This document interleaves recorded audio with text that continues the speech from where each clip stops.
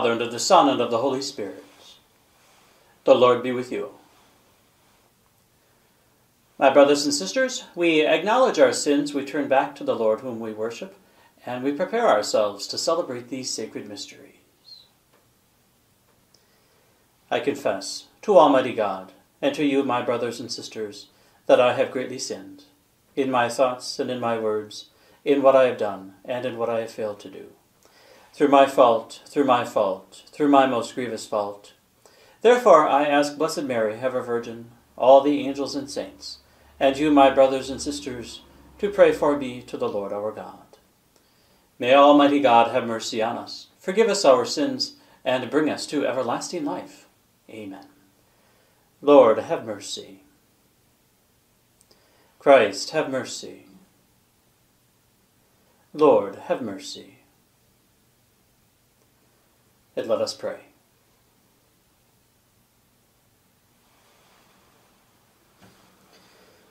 O God, who through your Son raised up your eternal light for all nations, grant that your people may come to acknowledge the full splendor of their Redeemer, that bathed evermore in his radiance, they may reach everlasting glory.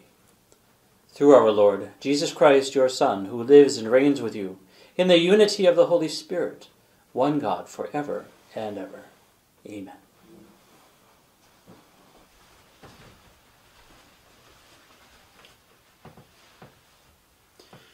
A reading from the first letter of St. John.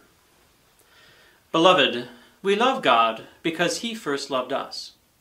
If anyone says, I love God, but hates his brother, he is a liar. For whoever does not love a brother whom he has seen cannot love God whom he has not seen. This is the commandment we have from him. Whoever loves God must also love his brother. Everyone who believes that Jesus is the Christ is begotten by God, and everyone who loves the Father loves also the one begotten by him. In this way, we know that we love the children of God when we love God and obey his commandments. For the love of God is this, that we keep his commandments. And his commandments are not burdensome, for whoever is begotten by God conquers the world. And the victory that conquers the world is our faith. The word of the Lord.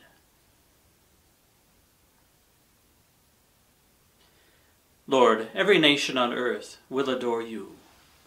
Lord, every nation on earth will adore you. O God, with your judgment endow the king, and with your justice the king's son. He shall govern your people with justice, and your afflicted ones with judgment. Lord, every nation on earth will adore you. From fraud and violence he shall redeem them, and precious shall their blood be in his sight. May they be prayed for continually, day by day shall they bless him. Lord, every nation on earth will adore you. May his name be blessed forever, as long as the sun his name shall remain.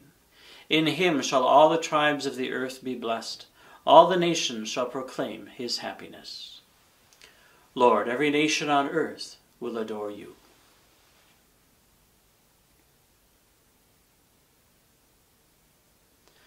Alleluia,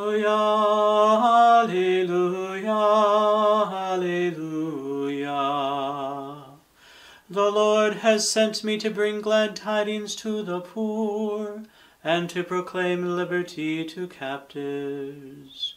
Alleluia, Alleluia, Alleluia. The Lord be with you. A reading from the Holy Gospel according to Luke.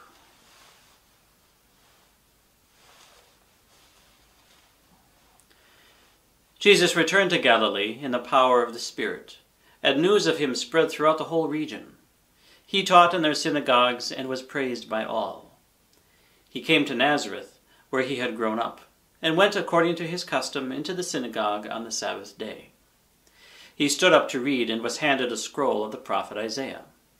He unrolled the scroll and found the passage where it was written, The Spirit of the Lord is upon me, because he has anointed me to bring glad tidings to the poor.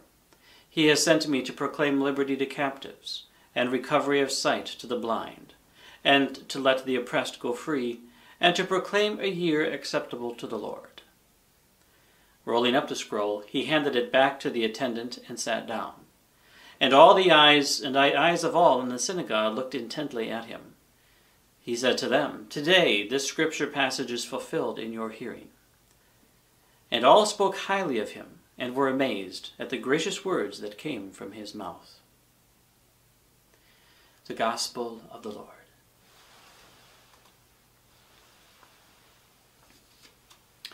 It's easy to let our faith become a list of do's and don'ts. Uh, do participate in the Mass, uh, do go to confession, pray every day, love your neighbor, love God, don't sin, be grateful and generous, don't treat others badly. Be a good steward of your resources. If you do all these things, you go to heaven, and if you don't, well, you can call on the mercy of God. And certainly, our faith requires us to live in a certain way, so there is something to that list of do's and don'ts. But of course, that list is not the center of our faith. We don't worship a list of do's and don'ts. We worship a person, Jesus, the Son of God, born in Bethlehem.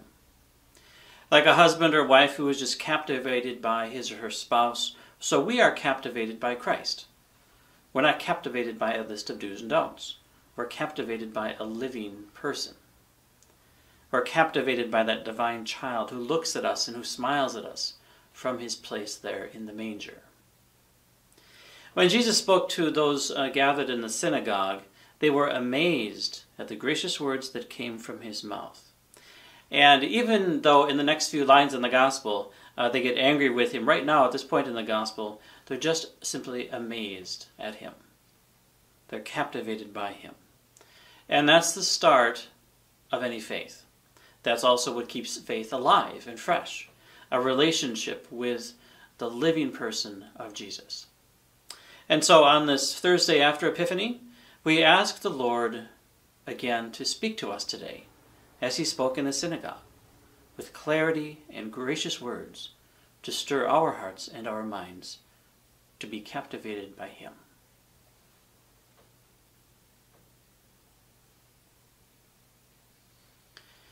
And once again, we offer our prayers, our needs, and the needs of our world to the Lord. We pray for all the faithful, that God would inspire us to be captivated again and always by the one whom we worship and follow, let us pray to the Lord. For local, state, and national leaders, and for all citizens of our country, that out of tension there will arise goodness, truth, justice, and honor, let us pray to the Lord. For those who struggle with depression and other mental or spiritual illnesses, that we would be Christ for them and offer hope let us pray to the Lord. For the prayers written in our parish books of prayer, and for the prayers we offer to the Lord today from the altar of our hearts.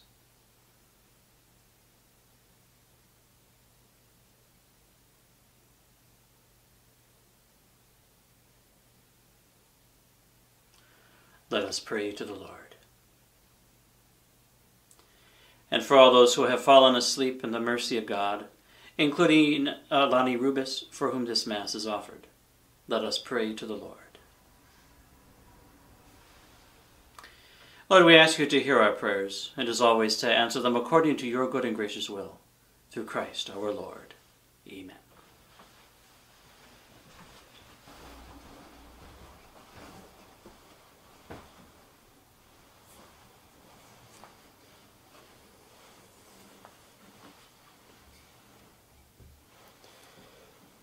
Blessed are you, Lord, God of all creation, for through your goodness we have received the bread we offer you, fruit of the earth and work of human hands. It will become for us the bread of life.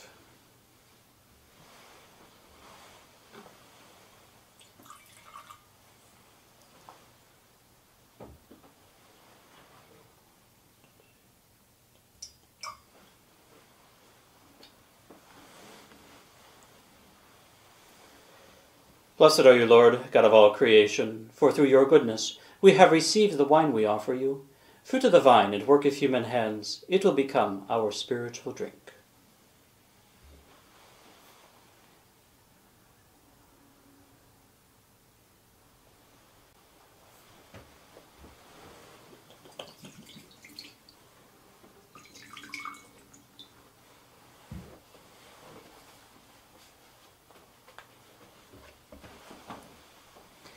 Pray, brothers and sisters, that my sacrifice and yours may be acceptable to God, the Almighty Father.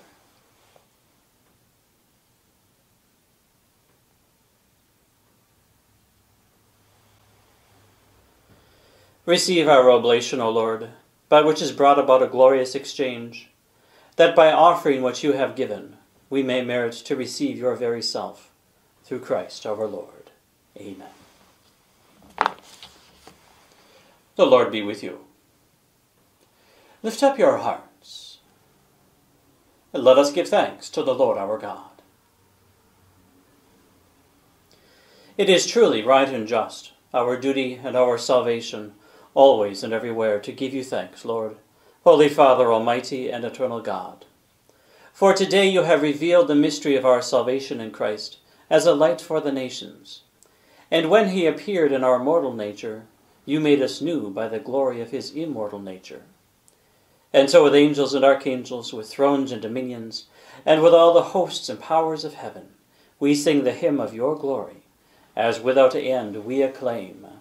Holy, holy, holy Lord God of hosts, heaven and earth are full of your glory. Hosanna in the highest.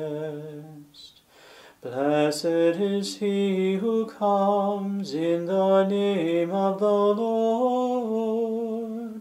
Hosanna in the highest.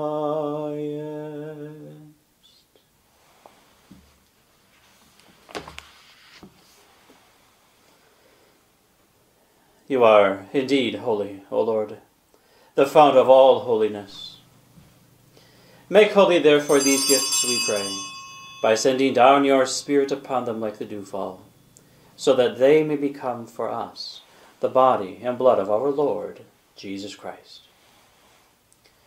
At the time he was betrayed and entered willingly into his passion, he took bread, and giving thanks, broke it, and gave it to his disciples, saying, Take this, all of you, and eat of it, for this is my body, which will be given up for you.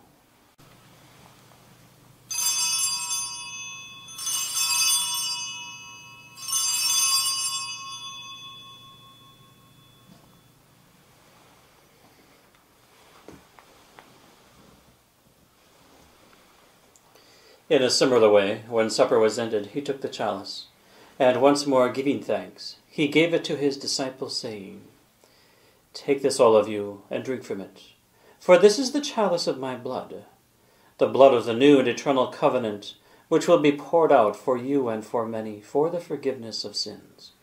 Do this in memory of me.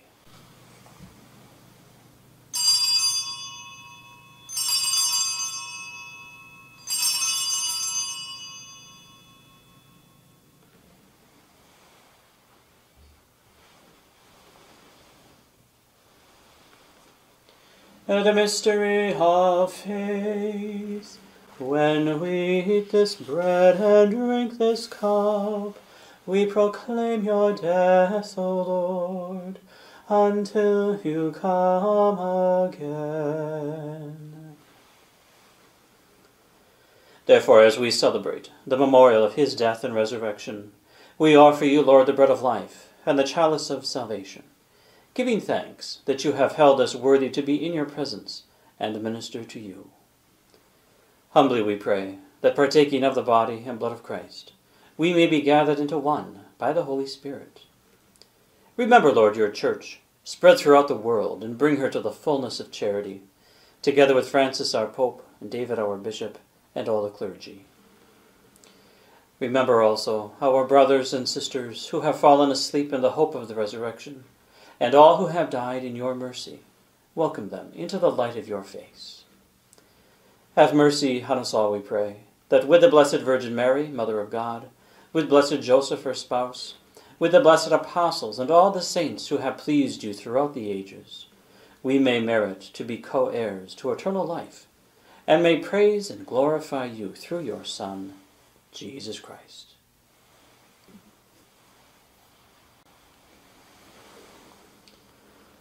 Through him, and with him, and in him.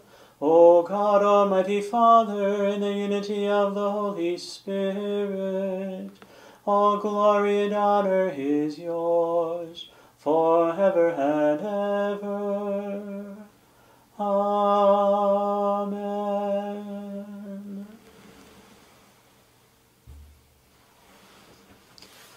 And at the Saviour's command, informed by divine teaching, we dare to say, Our Father, who art in heaven, hallowed be thy name.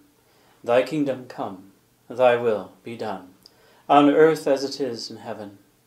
Give us this day our daily bread, and forgive us our trespasses, as we forgive those who trespass against us.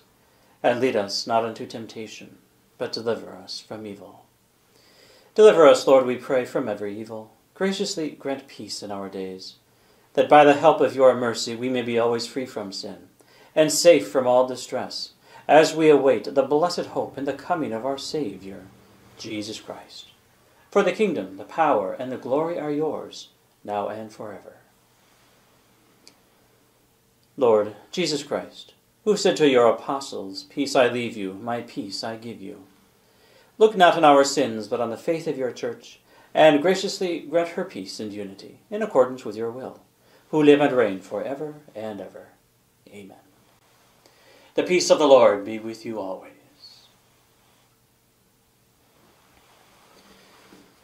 Lamb of God, you take away the sins of the world. Have mercy on us. Lamb of God, you take away the sins of the world. Have mercy on us. Lamb of God, you take away the sins of the world, grant us peace.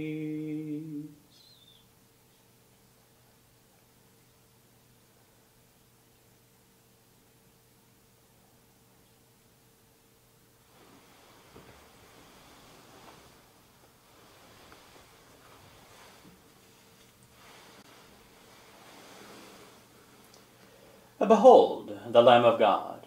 Behold him who takes away the sins of the world. Blessed are those called to the supper of the Lamb. Lord, I am not worthy that you should enter under my roof, but only say the word, and my soul shall be healed.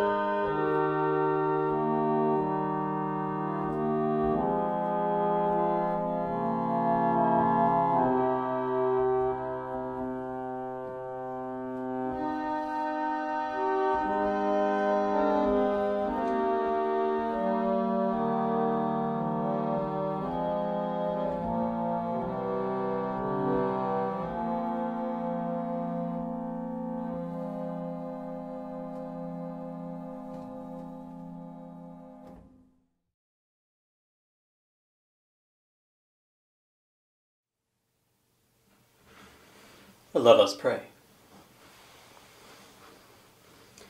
Grant, we pray, Almighty God, that by the power of these holy mysteries our life may be constantly sustained through Christ our Lord. Amen. The Lord be with you. May Almighty God bless you, the Father, the Son, and the Holy Spirit. Go in peace, glorifying the Lord by your life.